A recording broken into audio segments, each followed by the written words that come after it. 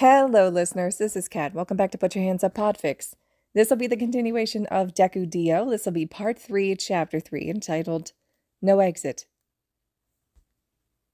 All right, night shift, listen up. Takahashi Shiori, the second shift attendant, called. We just got word of a mass casualty event from one of our friends in emergency medical services. We have 10 incoming trauma cases arriving in about 20 minutes. 10? Izuku gasped. They only had four doctors and six nurses on shift. Quirkless Support Group rented a bus for a day trip and were T-boned by a nearby villain who had gotten into a car chase with the police. The driver had a quirk that was sent to Musutafu Memorial. We were lucky that one of the EMTs was an ally of ours and knew to send the quirkless patients to us. They were able to gather a couple volunteers to drive the patients here. Twenty minutes is a long time to wait before treating that kind of trauma. Would it have been better to let them take their chances with the hospital? Michi wondered. No way. Natsu crossed his arms. You're quirked and still relatively new here, so you wouldn't be expected to know. But Musutafu Memorial has a blanket policy of refusing all quirkless patients, emergency or not. All that would have done is waste more precious time, and we don't have time to waste. Do we have any more info on what we're looking at? As of ten minutes ago, we had two red tags, five yellow tags, and three green tags. Of course, that could change during transportation, so be prepared for as many as seven red tags. As of this moment, we're putting the clinic on bypass, Takahashi ordered. Matsumura, Put all our current patients on hold and do your best to keep them happy. Direct all incoming non emergent cases to our sister clinic in Hosu. Incoming emergencies should be logged and tagged based on the field triage system. Aye, aye, Captain, Matsumura saluted. You got it. As for our nurses, Harada, you're on patient intake. Umeda, Azuma, and Aoki, exam bays 1, 2, and 3, respectively, be prepared to move quickly when our patients arrive. We will try to direct no more than one red tag patient to each of you, and your stations to avoid overwhelming you, but no guarantees. Yes, Sensei. Umeda Subaru, Aoki Michi, Harada Eto, and Azuma Mari chorused. Yoshida san, Takahashi began. Chances are we're going to have surgical patients. Scrub into the OR now. If for some reason we don't need an operating team, you'll be afloat. On it, Yoshida responded determinedly. What about me? Kuwahara, Hanako asked timidly. She was the youngest nurse, at just 13 and specialized in pediatrics.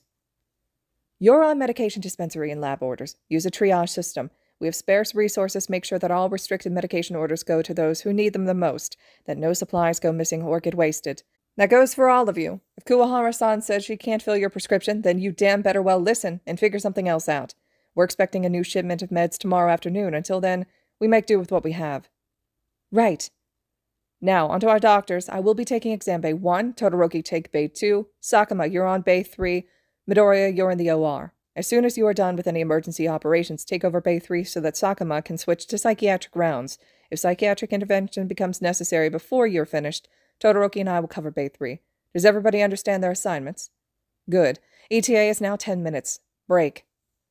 Izuku didn't waste any time rushing to the ER and scrubbing in. You ready for this? Yoshida asked as they pushed into the OR.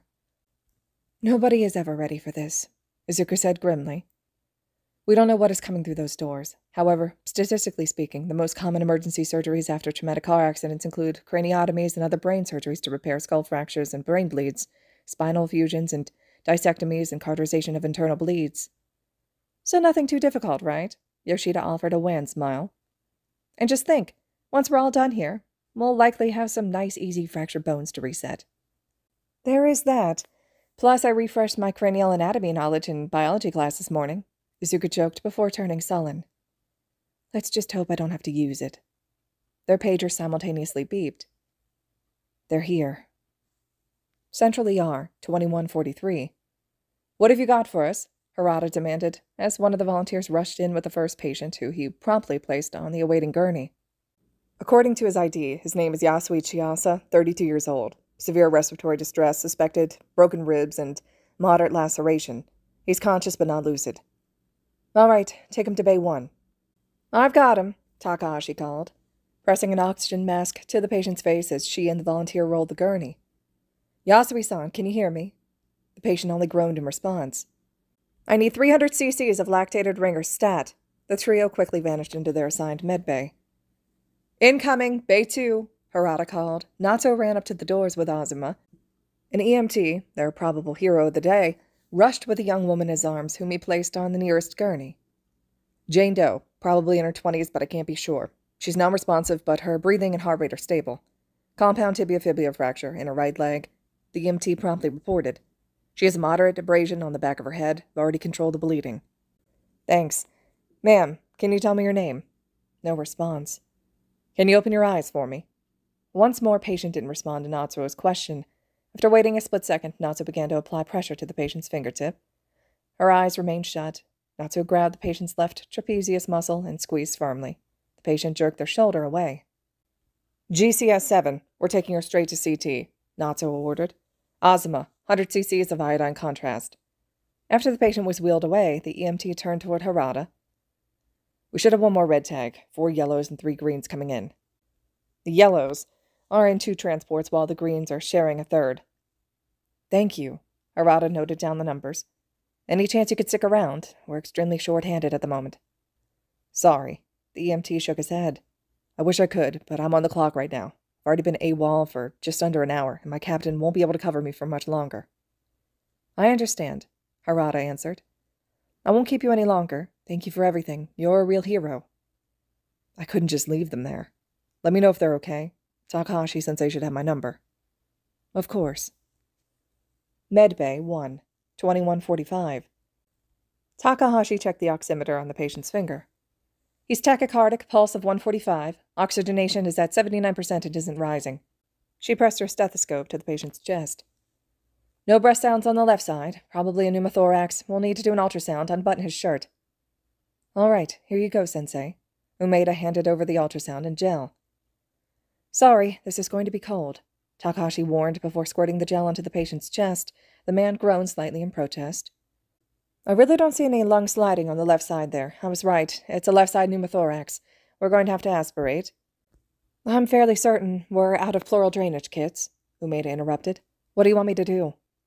Give me four cc's of 2% lidocaine, an 18 gauge cannula, and a spinal tap kit stat. On it.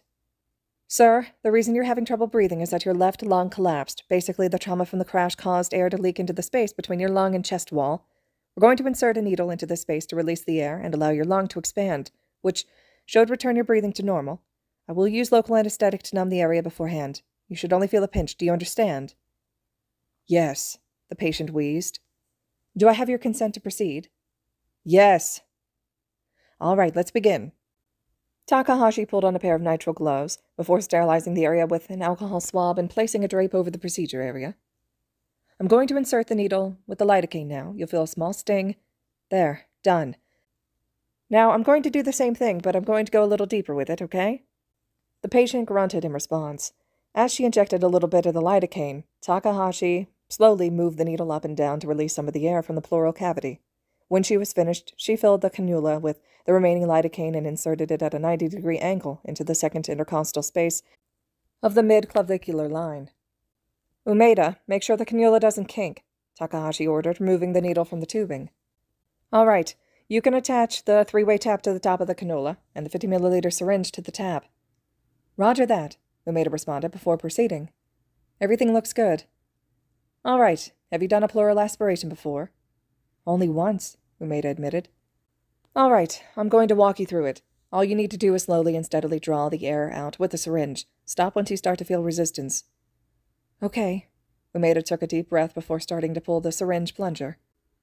What do I do if the syringe is full, but I'm still not feeling resistance? Not to worry. I expect that it'll happen several more times. Let me just turn the stopcock here, and then you can detach the syringe and empty the air. Make sure you don't lose any of the lidocaine. Right, okay, I've reattached the syringe. Rinse and repeat. Central ER 2149. The EMT had barely left when the next patient was rushed in and dropped on the awaiting gurney. Adachi Ko, 47, he's lost a lot of blood. He was awake when we left the scene but lost consciousness en route. He doesn't have a pulse, and he isn't breathing code blue, Sakuma shouted, before pulling herself onto the gurney to begin chest compressions. Michi rushed over, dragging a crash cart with him. Give him 1 cc epinephrine. We don't have time to establish an IV line, so it'll have to be an intracardiac injection. Michi pulled the requested needle and dosage from the cart before injecting it into the patient's heart. Take over for me while I bag him, Sakuma ordered before switching places with Michi. Harada, leave intake to Kawara and get the patient hooked up to a monitor. Yes, Sensei, Harada shouted. He's bagged. Sakuma reported. Harada, are you done? Almost. Give me a second here. You handle the bag. Looks like fine V-fib. Michi, give him another dose of the epinephrine. I'm going to start up the AED. Takahashi pulled the yellow plastic AED case from the crash cart as Michi re-injected the patient. Watch your hands. I'm cutting off his shirt, Takahashi warned before proceeding to slice through the cotton. Damn it. We're going to need to shave him. I'll do my best to work around you, but you'll have to pause CPR for a few moments. Just give me a heads up. An ominous crack accompanied the next compression. And I definitely just broke this guy's rib. Good. That means you're doing it right. Better a broken rib than dead.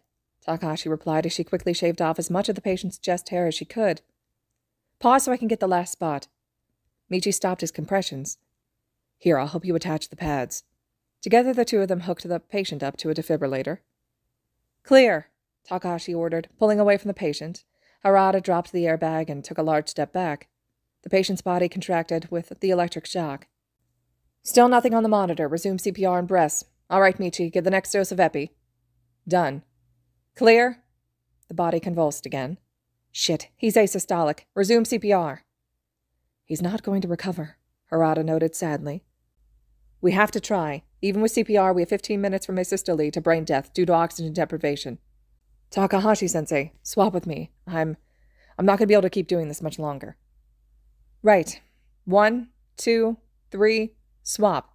Michi breathed a sigh of relief and rubbed his arms. Two minutes later, Harada swapped in. Still nothing. Give his last dose of epi, Takahashi ordered. The team continued to swap out with each other, giving additional doses of epinephrine every three minutes. By the time fifteen minutes had passed, Michi was doing compressions once more. Michi, it's been fifteen minutes, I'm calling it. Michi froze, looking like he was about to argue, before nodding slowly and climbing off the body. Time of death, 2213. Imaging room, 2147. Ready to lift her into the machine. On the count of three. One, two, three, lift. Natsu and Azuma heaved the patient onto the CT scanner. All right. Natsu firmly ran a finger from the bottom of the patient's foot to the top. The toes reflexively fanned out. Positive Babinski, so there's that. Let's see what the CT can tell us. Natsu started up the machine and an image loaded onto the monitor. Shit. We need to get her to Izuku now. OR 2149. Epidural hematoma. It's small, only 20 cubic centimeters and 15 centimeters thick, Yoshida announced. Caused by a skull fracture tear in the middle meningeal artery. But she's a GCS 7, so we need to operate. A craniotomy, then, Izuku concluded. Do we know anything about the patient? Young Jane Doe, Yoshida shrugged. I'm guessing she weighs around 55 kilograms. I've given her the loading dose of propofol and hooked her up to the 330 milligram infusion set a 60 minute infusion rate. Okay, Secure her head to prevent movement while I shave her head, Izuku ordered, selecting a razor from the surgical cart. It's a shame, Yoshida commented idly as Izuku began to shave the patient's hair. Her hair was so long and pretty. Well, if we do this right, she'll hopefully have a chance to grow it back, Izuku responded. All right, done. Hand me the marker. Here you are. Izuku took the marker from Yoshida and drew a large arch over the location of the hematoma. This is going to be a long procedure, what kind of music are you in the mood for? Hmm, Yoshida pondered. Classic K pop? 21st century? What do you take me for, a heathen? Of course, 21st century. Sounds good. Hand me a scalpel before going to turn it on. Izuku cut along the mark, pulling back the soft tissue to expose the patient's skull. Just as he finished the incision, Blackpink's Shutdown began playing on the overhead. I will never get over how cool the human body is, Yoshida exclaimed upon returning. Well, at least you know you're in the right field. Hand me the drill.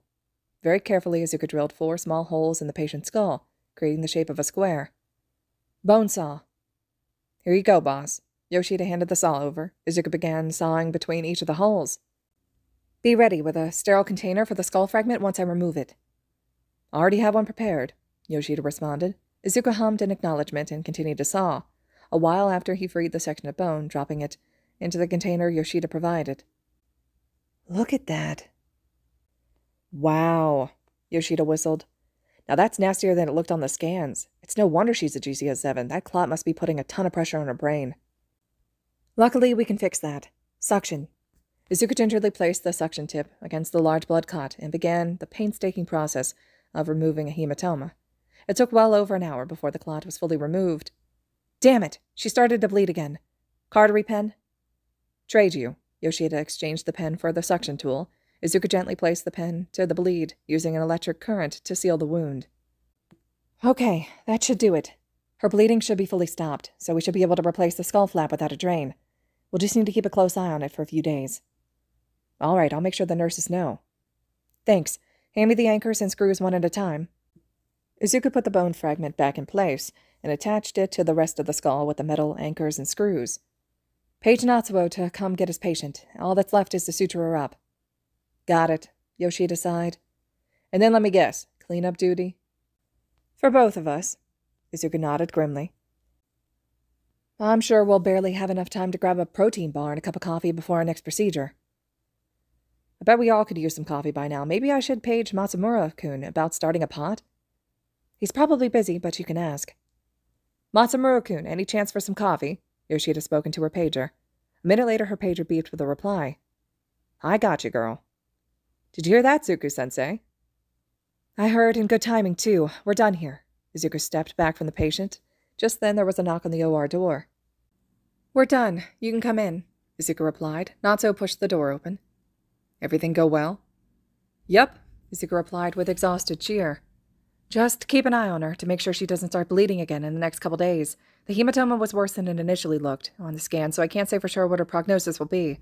We'll take her off the anesthetic, and you should have a better idea if or when she wakes up. Thanks, man. Natsuo smiled grimly. Just giving you a heads up. Turns out that Takashi's red tag has significant abdominal bleeding and will need surgery stat. We've already put it off for too long due to understaffing. Shit, Izuku cursed. Is anyone available to sanitize the OR? Yoshida and I need food and coffee if we aren't going to screw this up. Ozma-san can handle it, Natsuo responded. All of our patients are stable now. Thanks. Yoshida breathed a sigh of relief. How many patients do you have? Our Jane Doe here, who was our red tag, a young woman with a closed arm fracture and a moderate concussion, and an older gentleman with some minor abrasions and a broken wrist. That's not as bad as I feared, Izuku offered. I had it easy. Sakuma's red tag was DOA. Well, shit. Anyways, go change and grab your food. The OR will be ready for you in 15. Thanks again. Izuku smiled at Natsuo before pushing out of the OR. Waiting room, 1150. The entire waiting room was awash, in the din of discontent patients by the time Izuku arrived. We've been waiting here for four hours, a woman cried, gently bouncing a distressed infant in her arms. Karu-chan needs to see a doctor. I'm sorry for the inconvenience, Matsumura placated the woman. As I've said before, we're currently dealing with a mass casualty event. All of our doctors are currently tied up with patients in imminent danger of losing their lives. While Karu-chan's health is very important, he is not in any immediate danger. What about that one? The woman pointed wildly at Izuku. Hey, it's a doctor, one man shouted. I'm next in line, another chimed in. No, you aren't. We were here first. Well, I'm sicker. Shut the fuck up. You're fine. My sister's way worse off. Everybody, please calm down, Izuku shouted. The crowd hushed. I just got out of a three hour brain surgery and am stopping to grab a cup of coffee so that I'm alert for my next emergency procedure. We will see you as soon as we are able, but you must understand we are a volunteer operation. The doctors are pulling 12 hour shifts for no pay so that you can receive care. We are severely understaffed and are dealing with patients who are dying. We've already lost one person tonight, so please, please be patient and kind to your doctors. We are struggling too.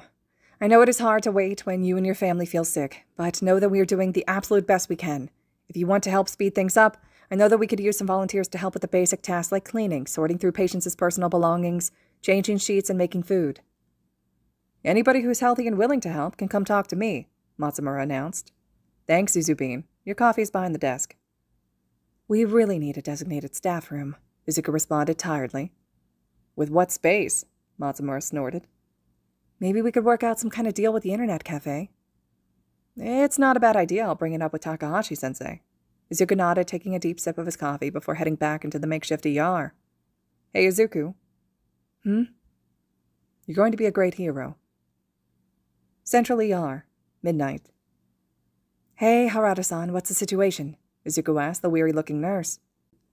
Currently, we have one red tag. Your abdominal bleed in room one. Came in with a pneumothorax, which Takahashi-sensei treated, then started displaying signs of blood loss with a distended abdomen. We've been transfusing him while we waited for you. There are four yellow tags of various severity. The worst off is patient in room three with some sort of spinal injury. We have a couple of compound fractures, but it looks like those will have to wait for the next shift at this point. We were able to get in contact with a handful of people who agreed to come in early. Should be here in a little over an hour. We sent our three green tags to the waiting room. Now that the Jane Doe is out of surgery, we'll ask somebody to identify her. That's great news. Speaking of the waiting room, I got Matsumura to assemble a bunch of volunteers to help out with the basic housekeeping tasks. Hopefully, we'll get enough people to take the edge off. And that is why you are a resident genius, Harada sighed. That'll be a huge help. Now, if you're done with your coffee, Go have your abdominal bleed patient sign his consent forms. Harada pressed a patient chart into Izuku's chest. Yeah, yeah, I'm going, Izuku sighed, pushing back the curtain to Bay 1. Izuku glanced down at the chart. Yasui Chiasa-san? Yes, the middle-aged man on the leftmost bed responded. I'm Midoriya Sensei, and I'm going to be your surgeon today. Want to go over the procedure and some paperwork with you, if that's okay? Yeah, sure, the man coughed lightly. Sorry, my breathing still isn't completely normal.